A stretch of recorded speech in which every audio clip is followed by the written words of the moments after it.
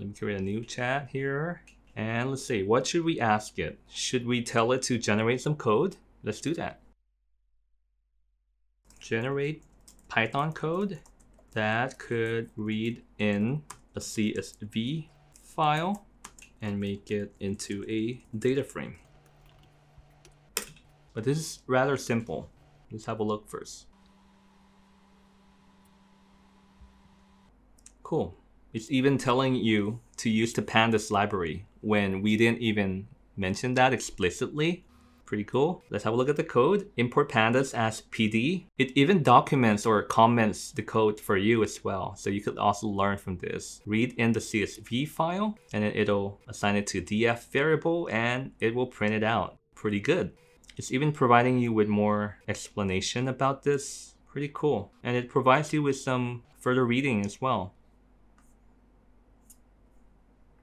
How about this one? Um, from this data, create a scatter plot of columns and then we could say experiment and predicted. Not red, pred. Let's see. And we didn't even tell it which library we want to use. So let's see.